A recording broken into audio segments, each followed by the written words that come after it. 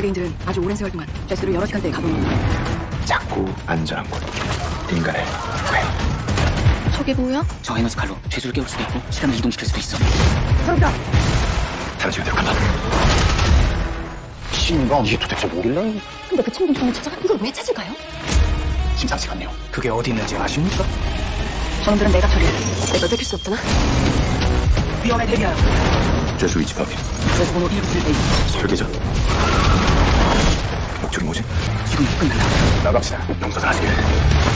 신검이 있어도 넌 여기서 못 벗어나가. 너 누가? 설계자 붙잡아. 강나드 봉에 들어가 있으래. 이것은 신상품. 하! 저놈은 내가 마시. 민야만하네. 한번 더. 나오시게.